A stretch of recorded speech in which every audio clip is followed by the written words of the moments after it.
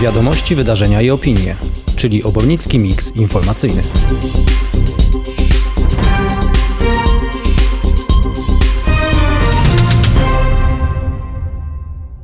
11 listopada odbył się apel upamiętniający odzyskanie przez Polskę niepodległości w 1918 roku. Po 123 latach zaborów Polska ponownie pojawiła się na mapie Europy, odzyskując swoją narodową tożsamość. Tradycyjnie w oficjalnych uroczystościach uczestniczyli przedstawiciele różnych środowisk, partii i stowarzyszeń. Burmistrz Obornik Tomasz Szrama w swoim przemówieniu podkreślił, że wspólnota ponad wszelkimi podziałami jest naszą największą siłą, przepełniającą radością, wzruszeniem i dumą. Licznie zebrane delegacje złożyły pod pomnikiem niepodległości białe białe i czerwone kwiaty. Uroczystości w parku zakończył wspólny marsz zebranych poprowadzony przez Obornicką Orkiestrę Dentą do kościoła Najświętszej Marii Panny w Niebowziętej, gdzie odbyła się uroczysta msza święta w intencji za ojczyznę.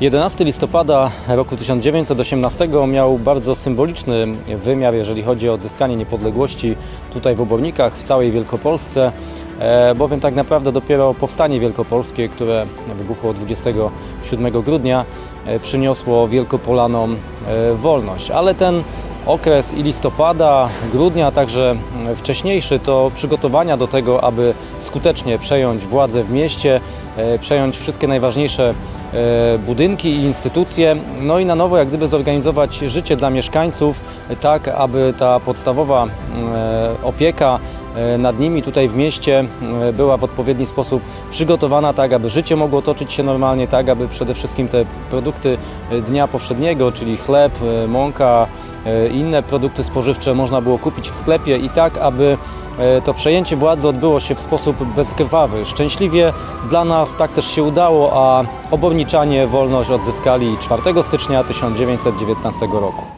Tradycyjnie już w grudniu w Obornikach odbywa się wielki jarmark świąteczny. Wspaniała atmosfera, dużo wystawców, kolendy i choinka to już nasza tradycja. 4 i 5 grudnia w Obornikach odbędzie się jego kolejna edycja. W sobotę 4 grudnia zapraszamy na świąteczny festiwal smaków, gdzie mobilne restauracje przez dwa dni serwować będą popisowe dania, zapewniając, że świąteczne mogą być nie tylko karp i zupa grzybowa, lecz również gruzińskie chinkali, azjatyckie pierożki dim sum, pad thai, a nawet burgery. W niedzielę 5 grudnia dodatkowo pojawią się między m.in. szczudlarze oraz świąteczna kolejka dla najmłodszych. Odbędą się także warsztaty plastyczne, a o klimat świąt zadba zespół Brass Band, prezentując utwory ze swojej specjalnie przygotowanej bożonarodzeniowej playlisty.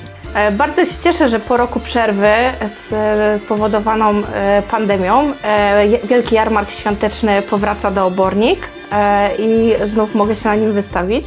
Bardzo się cieszę też, że w tym roku będzie on trwał dwa dni i będzie połączony razem ze zlotem food trucków.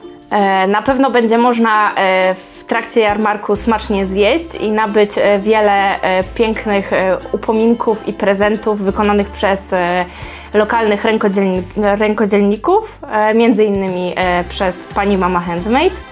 4 e, i 5 grudnia widzimy się na Obornickim Rynku. Serdecznie zapraszam.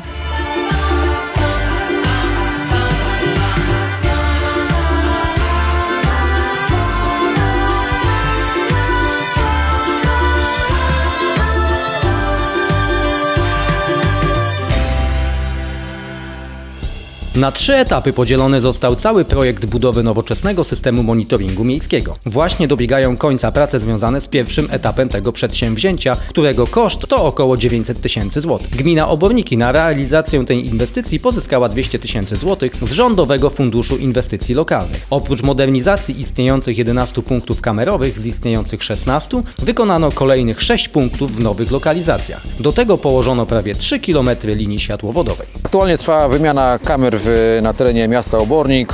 W skład systemu wchodzi, wchodzi 15 najnowszych kamer e, w technologii IP megapikslowych. Poprawi to znacznie bezpieczeństwo, jak i, jak i funkcjonowanie monitoringu e, obecnego na terenie gminy Oborniki. W gminie Oborniki jest rowerowy klimat. Takie wyniki podała Polska Unia Mobilności Aktywnej i Metropolia Poznań po badaniach przeprowadzonych dla miast i gmin członkowskich Metropolii Poznań. Wyniki raportu powstały na podstawie 2600 ankiet z całej metropolii. Gmina Oborniki od kilku już lat dba o rozwój ścieżek pieszo-rowerowych, tym samym zwiększając swoją ofertę nie tylko dla mieszkańców Obornik, ale i całej metropolii Poznań. Znajdujemy się na najbardziej popularnej ścieżce rowerowej e, ze Stobnicy do Słonaw. Generalnie ścieżka ta, na której teraz jesteśmy ma prawie 12 km. Ona cieszy się największą popularnością. Oprócz tej ścieżki w Obornikach znajduje się 10 km e, ścieżek zlokalizowanych w samym mieście. Dziś w kolejnym odcinku Fyrtla Rzemieślniczego zawód znany m.in. z lalki Bolesława Prusa, subiekt, czyli sprzedawca. Witamy serdecznie. Nazywam się Mariusz Pawlaczyk.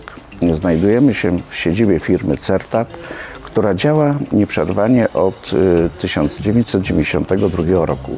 Od początku naszej działalności zajmujemy się kompleksową sprzedażą detaliczną artykułów wyposażenia wnętrz.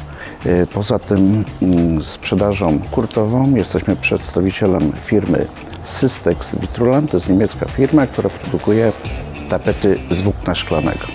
W naszej e, szerokiej ofercie znajdziecie Państwo bogaty wybór tapet, wykładzin dywanowych, paneli, e, farb, płytek ceramicznych e, oraz do wszystkich artykułów do upiększania różnorodnych pomieszczeń. Pomimo tego, że nie reprezentujemy zawodu rzemieślniczego, od 2008 roku jesteśmy członkiem cechu rzemiosł różnych w Obornikach i szkolimy uczniów w zawodzie sprzedawca. Specyfikacja zawodu no, wymaga dużej samodzielności w organizowaniu sobie stanowiska pracy, poczucia odpowiedzialności za wykonywane czynności. Dobry sprzedawca musi doskonale znać swój towar, y, jego właściwości, mm, pamięć o cenach, rozmiarach, y, lokalizacji towaru. No więc jeśli jesteś osobą komunikatywną, otwartą i zaradną, zapraszamy do kontaktu.